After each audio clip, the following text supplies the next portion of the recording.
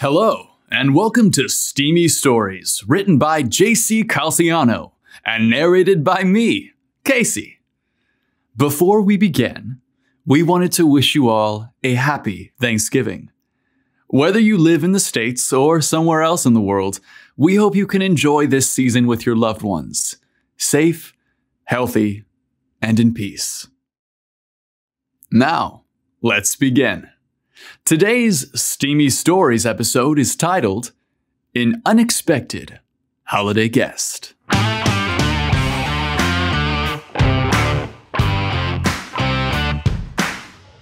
Tyler couldn't be more excited to move into his own apartment. At 25 years old, he finally was able to land a good job as a researcher for an online investment company and live on his own.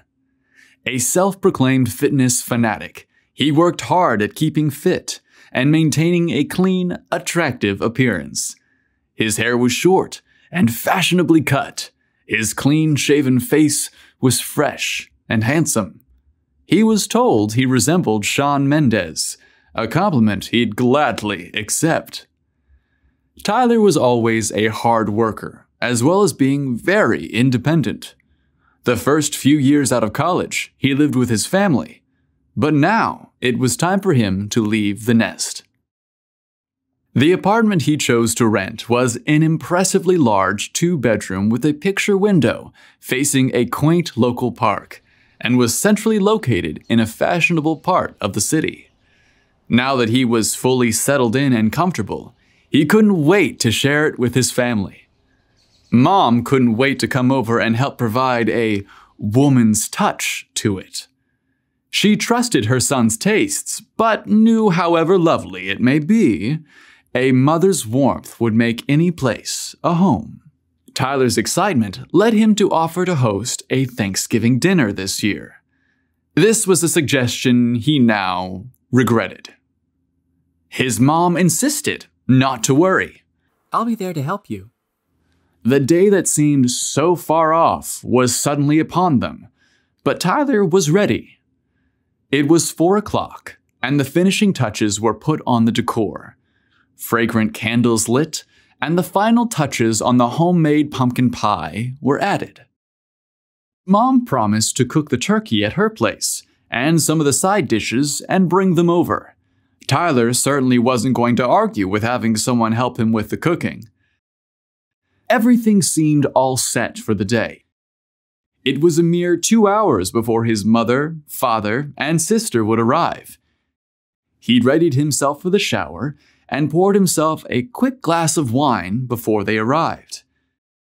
Disrobed, and a mere two feet from entering the shower, his phone rang. And the number revealed that it was his mother calling. Cautiously, he answered. Is everything okay? Mom's voice was upbeat and cheerful. There wasn't a disaster looming as he feared. His mother continued as she chose her words carefully. Honey, you know I'd never ask this, especially this late, but your sister asked me if it would be okay if she brought over her boyfriend. Tyler wasn't in the mood for drama at this point. The thought, why didn't my sister just call me directly about this? Who is this dude? I didn't even know she was dating anyone, flashed through his mind. But none of that mattered. He knew there would be plenty of food, and his sister's friends were always pretty cool. Sure, Mom, tell her to bring him. It's not a problem. I'm totally fine with it. Tyler agreed in an attempt to rush her off the phone so he could finally get to his shower. Yep, Mom. No one should be alone during the holidays. I'll see you soon. Once cleaned, dressed, and primed with a healthy pour of vino, a second table was put out, and our host eagerly awaited his guests to arrive. The doorbell rang. The sound surprised him at first. Do I even have a doorbell? Where is it? He wondered. How did someone get past the security gate? Upon opening the door to welcome his family, he glanced at the wall near the entryway. Sure enough, there was a doorbell there. His sister, a perky, pleasant, adorable millennial named Janine, chimed in quickly. The gate was propped open with a rock. Without missing a beat, she entered the apartment as if she had been there a thousand times before. She was with a man slightly older than she was in tow. Janine wasted no time in introducing him as Stefan. Mom and Dad swiftly entered as well, as both of them were eager to put down the multitude of silver trays in their arms, all containing food. Tyler was thrilled to see his parents and impressed with the bounty of food they graciously provided, but his focus was quickly drawn away from his family and was fixated on his guest, Stefan. A towering mass of manhood at 22 years old, he radiated wholesome good looks. His short brown hair was almost too perfectly combed. He had inviting green eyes and a crisp white smile. He was just shy of six foot two inches and dressed in a white and blue striped button down shirt. He wore eyeglasses that were oddly unassuming. One surely couldn't help but think of Clark Kent when they saw him. Tyler knew that his modest, conservative fashion choice concealed what was evident a Superman underneath. Tyler was happy to show everyone around his apartment before they settled in for supper. He was proud of what he accomplished in a few weeks with a modest budget, and was eager to show off his new place. The firm pat on the back from his dad signaled his approval of what he had accomplished. Nicely done, son. I'm proud of you. This provided Tyler with a strange swell of happiness that he hadn't expected. Well, that's the tour. It's only four rooms. Now, can I get everyone boozed up so my contributions to tonight's meal will taste good? Tyler asked as he laughed, proudly displaying his new, freshly stocked bar. Mom wasted no time in familiarizing herself with the kitchen, as Dad did his best to help her. Janine occupied herself on her phone, leaving Tyler to entertain her boyfriend. So, how did you meet my sister? Was the first question that came to mind. Best to start with simple conversation and eventually get to more interesting subjects like how did my sister nab a stone cold fox like you? Tyler did his best to seem casual about the topics the two men chatted about, but the truth of the matter was that he couldn't take his eyes off the hunk seated in his home. Stefan was just the perfect blend of sexy geek and muscle god that Tyler found attractive. Stefan answered Tyler's questions bashfully at first, as he continually apologized for being invited last minute to the intimate family holiday. He wanted to make it clear that it was Janine's idea for him to come tonight, he explained that he and Janine met at the office, where she's a salesperson and he's a lab technician. She insisted her brother would enjoy meeting him and that his family welcomed strangers into their homes with open arms, especially during the holidays. Make you a drink? What are you having? Tyler queried. Stefan hesitantly wondered if he had Campari in his well equipped bar and if he could make a spritzer. Tyler eagerly headed to the bar to show off his mixology skills. Sure, I love those. That's easy for me. The family soon gathered at the large, beautifully decorated table centered in the dining room. Candles with dried leaves and flowers as a centerpiece? How Martha Stewart of you! Mom commented, giving props to her son's decorating skills. Turkey, gravy, corn, yams, casserole, cranberry sauce, and stuffing. It was the ideal, traditional holiday feast. Tyler found himself strategically seated across from Stefan during dinner. As hard as he tried to not stare at the inviting eyes of his guest, he couldn't resist glancing over at the sweet, innocent lips smiling back at him. This guy was just too damn adorable, he thought. As everyone chatted innocently around him, it became clearer and clearer to Tyler that he had more in common with his sister's boyfriend than she did. How did my sister get so lucky? Yes, he's a bit of a nerd, but that rock hard body hiding under his shirt, oh, it makes him irresistible. The conversation was lively amongst the family members. Tyler fought the urge to interrogate his guest and ask too many questions about his relationship with his sister. She had better not let this one get away, Tyler thought. But on the other hand, maybe it would be for the best if they broke up. He wasn't sure if he could live the rest of his life lusting after his brother in law.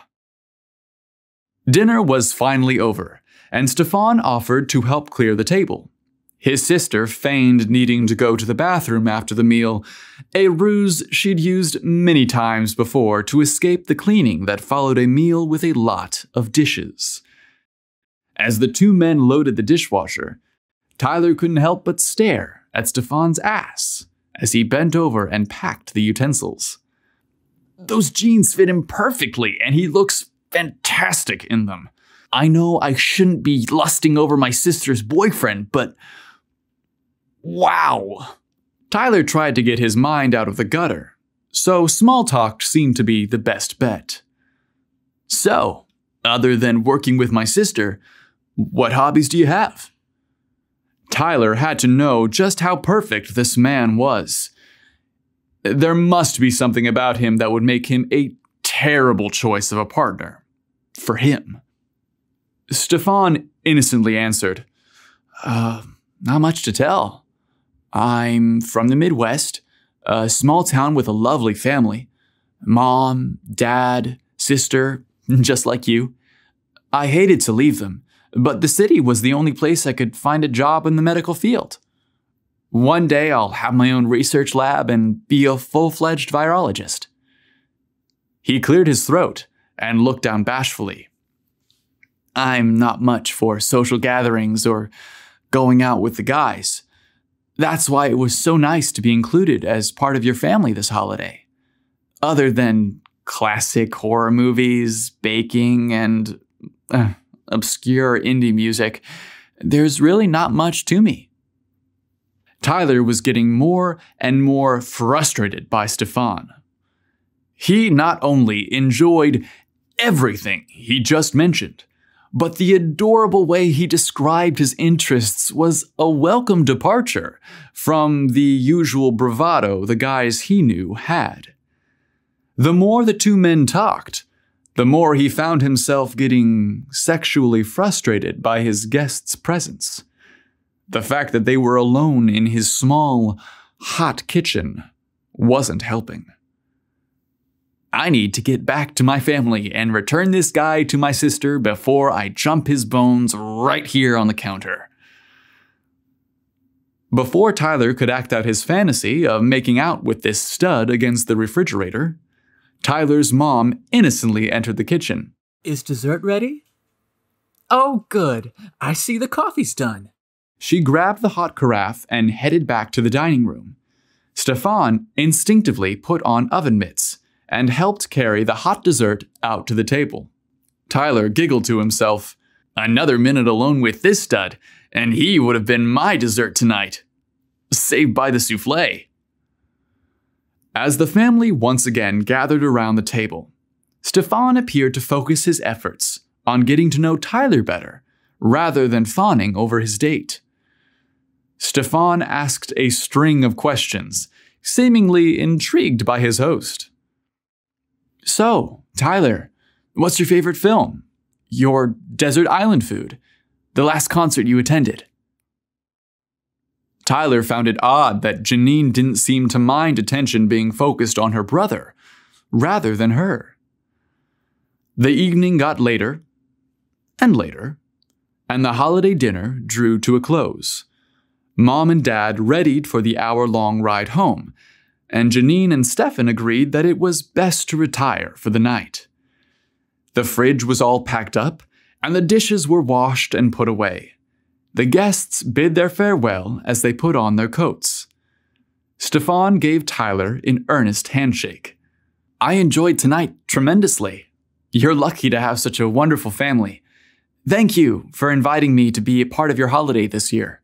I had a blast and hope to see you again soon. Me too, Tyler sincerely replied. You're welcome back anytime. You were the perfect guest. Stefan went in for a bro hug on a secondary farewell. This goodbye certainly was more intimate than the earlier handshake he received.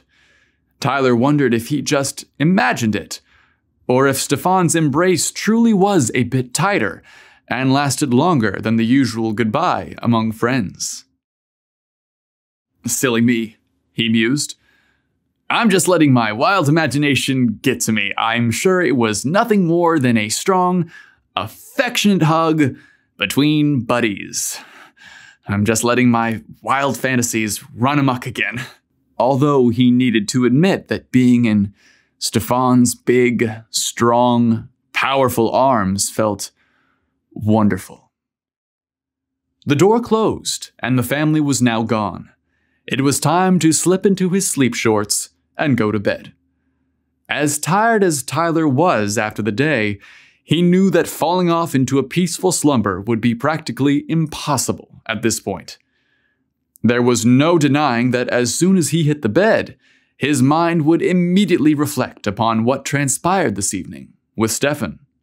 He would think about the powerful, muscular build and sexy face framed by those almost nerdy glasses. Though hard as he tried to clear his head from the hunk who had just left, he couldn't shake the lingering images of the impeccable fitting jeans. Tyler's mind wouldn't stop reeling from how hot his sister's boyfriend was. The following morning was peaceful and quiet, a welcome day off from work, with the plan to just bum around the new apartment. Tyler had just sat down to enjoy his morning coffee when his sister's name appeared on his phone's caller ID. Hey, sis, is everything okay? I just saw you 12 hours ago. What's up? Tyler tried to act casual about the call, but the truth was he couldn't wait to ask about the hunk she was dating. And Janine needed no prompting to talk about Stefan, as she instantly inquired. So, what did you think? Sexy, right? Tyler decided that it was best to play it cool during the call. Let's not be the desperate gay brother that lusts after his sister's date and talks gossip about boys. Yeah, he was cute. She laughed loudly in a light-hearted tone. I know you think he's hot. He thought the same thing about you. Tyler hadn't been adequately caffeinated yet, so this conversation still wasn't making sense. He asked for clarity. Uh, let me get this straight. You and your boyfriend discussed how hot I was last night? That's weird. Janine screamed with laughter. My boyfriend? Who said he was my boyfriend? Tyler was now even more confused as he tried to clarify what was happening. Mom said that you wanted to bring your boyfriend over for Thanksgiving dinner. That's why I agreed to it. I figured you were dating someone. No, I told mom my guy friend had nowhere to go for the holiday, so I asked if you'd mind him joining us for dinner. He was invited for you, not me.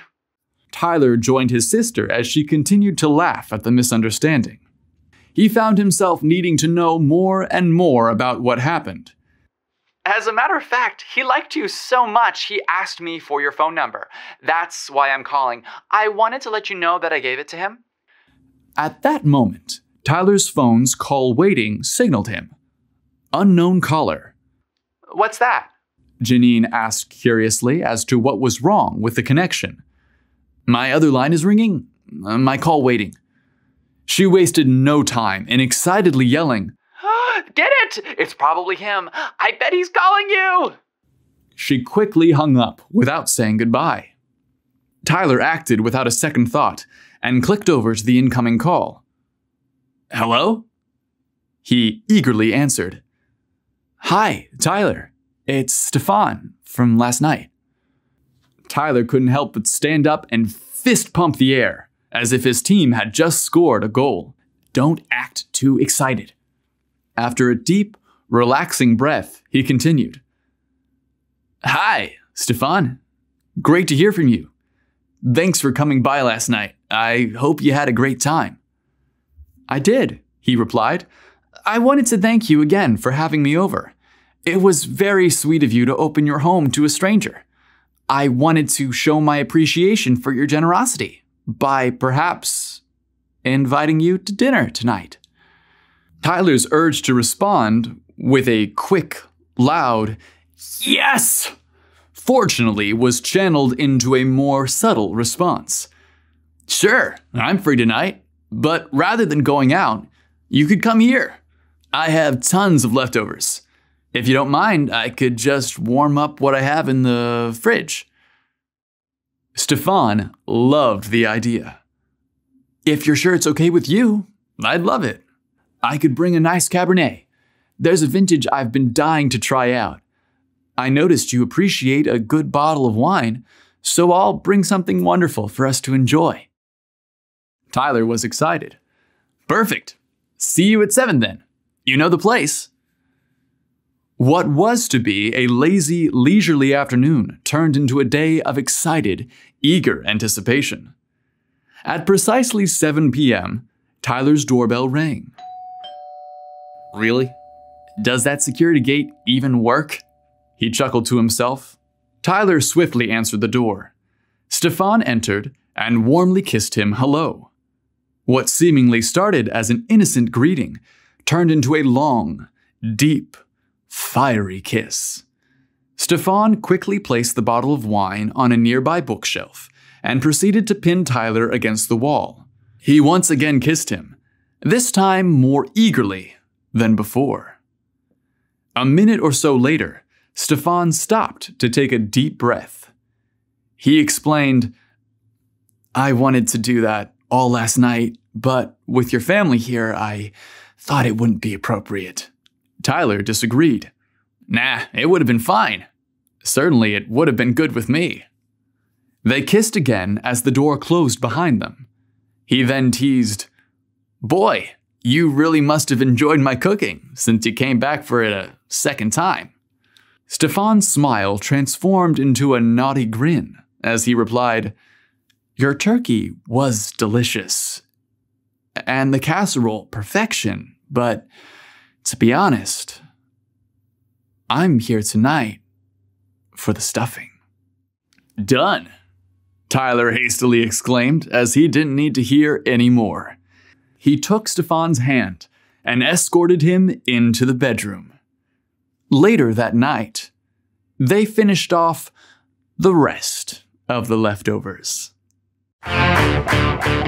Love steamy stories? Then tell a friend. Leave a comment, share, or rate us on Apple Podcasts. This is the season of giving, so give your buddy a little treat and tell them about Steamy Stories. This has been Steamy Stories, written by JC Calciano and narrated by yours truly, Casey. We hope you have a wonderful holiday, and make sure you tune in next time for another episode of Steamy Stories. Later, bro.